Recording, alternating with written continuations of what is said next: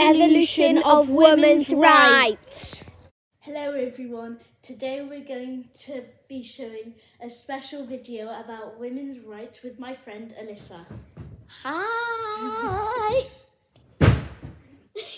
Today our story starts in ancient Greece.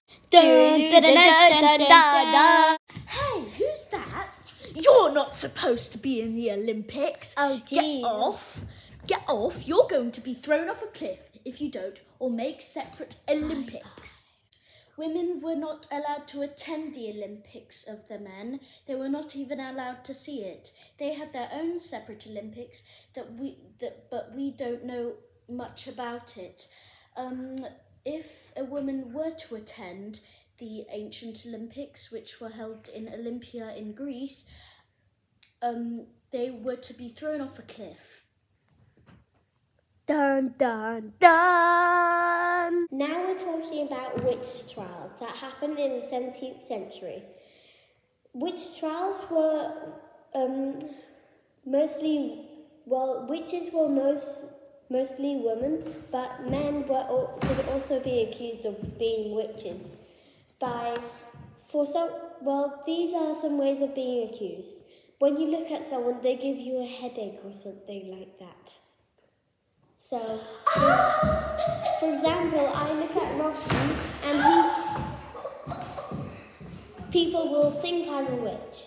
But if they have like a black cat, a frog, or a bird, something, something that like like that that follows them around, that could also be a witch too. Next, the, not, the next thing is if you have like a birthmark on your skin. Well, like basically a mark on your skin, like a birthmark or a spot, something like that. Okay, we'll talk about more stuff.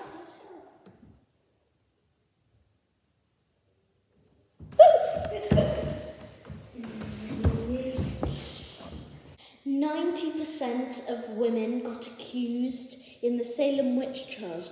15 months between 1692 and 1693, and only 10% were men.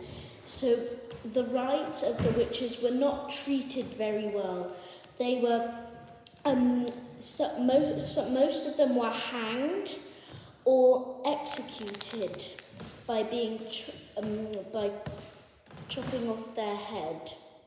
Um, you can see it now. I'm just going to chop Alyssa's head off, actually. No,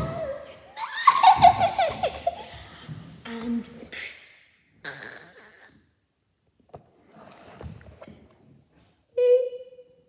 before they were executed, um, or uh, Beheaded. behead, beheaded is executed, and the other thing, um, they would go to a court, um, in Parliament, and they would, would they would um, they would test the witches to see what they did. S um, all the witches, none of them were actually witches. It is very sad that they were all women, and most of the time, um, people were were accused of being witched in court. Um, for the people who accused the witch, their family were helping in the court. For example, um, so the person thinks that the other person is a witch.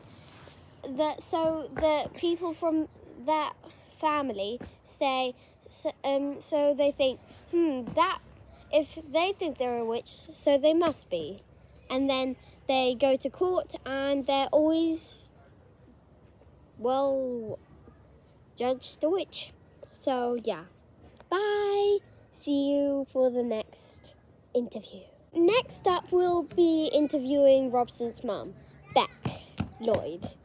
Okay, on we go. So we're here with Rebecca Lloyd, uh, Robson's mum. Um, so I'm going to ask her questions about women's rights. So the first question is how, um, like, what's changed over the years for you? Like, have you, when have you been allowed to vote when you were a child? So, voting in the UK is for anybody over the age of 18. And so, all of my lifetime after the age of 18, I've been legally allowed to vote. And that is because of an act that was passed in 1928 in the UK. Thank you for this question, answering this question. So, on to question number two. Why, why did women protest to have their rights?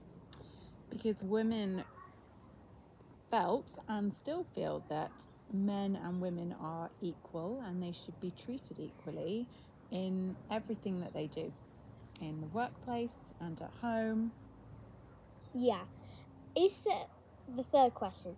Is there any like um changes we could do to improve women's rights?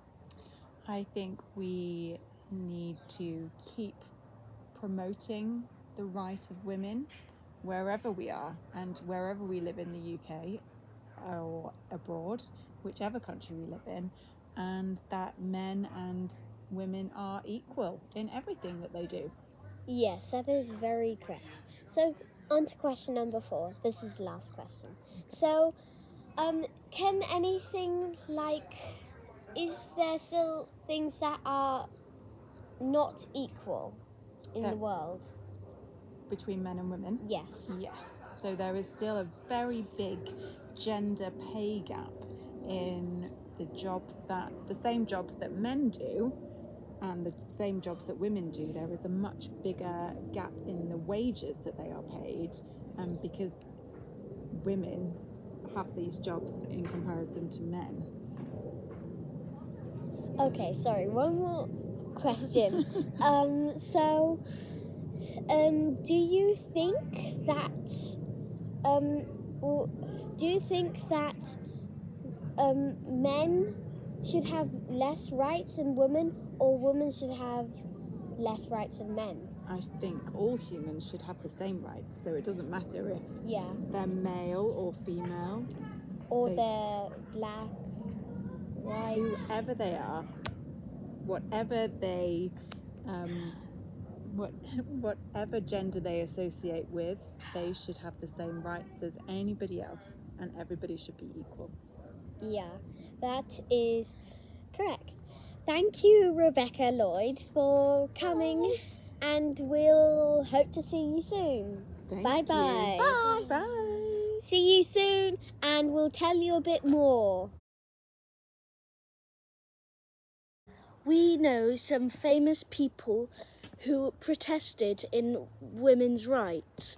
Um, now I've got one.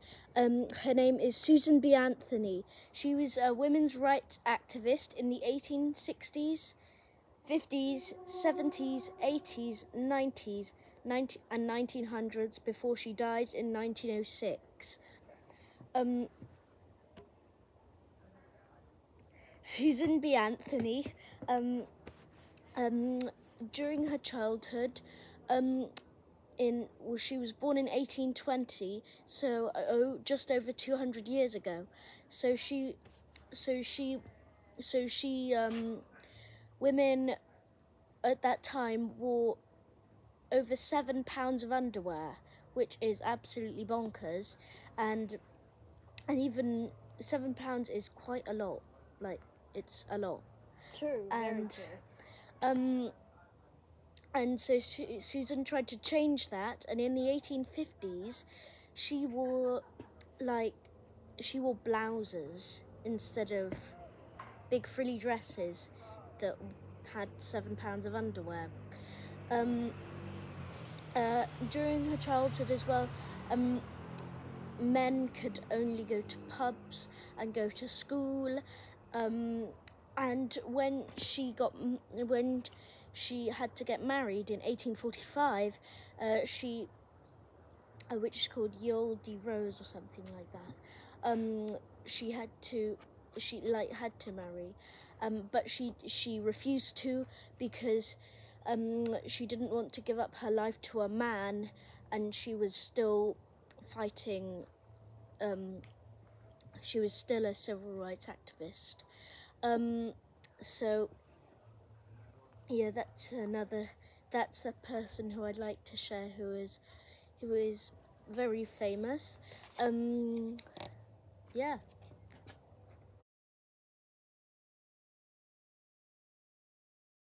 Next up, I'm gonna talk about Amelia Earhart. First of all, who is she? She was a young and brave girl who flew, wanted to fly across the world and set herself a great challenge.